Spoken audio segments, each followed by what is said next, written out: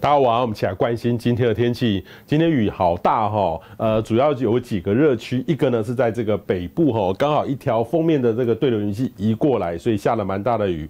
中部的山区还有南部哦，这个雨呢，说真的，这两天呢下的雨哦，真的，呃，有时候除了大环境的封面影响之外，又加上海陆风的环流。那现在来看的话，各位可以看得清楚，其实这个封面呢已经明显减弱了哈，只剩下山区有一些残留的对流云系，不过慢慢都在减弱当中。明天呢，其实慢慢的开始转好，不过还是有西南风哦。大致上封面呢，呃，这边还会有封面在逐渐的建立。我们给大家看越来预测哦，大概封面呢慢慢的在减弱，明天就是。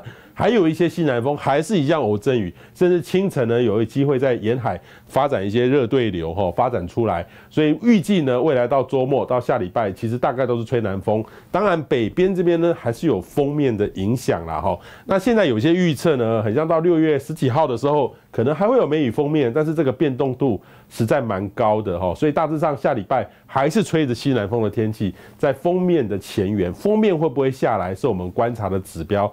有这个机会。会哈，但是这个现在不确定性还很高，我们就大致上跟大家讲说，未来都是会西南风影响的天气会比较准确啦哈。大致上未来这几天就是慢慢回到夏天典型的温度的天气，所以北部呢预计很快哈，在这个周末这几天就慢慢的回温了哈，请大家注意穿着，一下子温度的就拉起来了哈，二十四五度到三十几度哈，这个有可能还会再更高，三十四五度，呃，有点闷热，尤其吹了南风，南部呢温度也都爬升起来了哈，请大家注。注意一下，整个环境呢在变化当中。那但是呢，山区还是有一些阵雨哦。慢慢的，这个靠山区还有北部的山区，有些雨后阵雨的机会。未来这几天都是如此啦哈。当然下礼拜有可能水就会稍微少一点点，明礼拜五、礼拜六比较多。大致上呢，这几天空气品质都还蛮好的，但是就要注意，呃，今天晚上还是有些局部零星阵雨的机会。明天呢？都有午后阵雨发生的机会，要稍微留意。但是有没有看到温度呢？都开始要拉起来喽。明天大概很多地方都会三十度左右，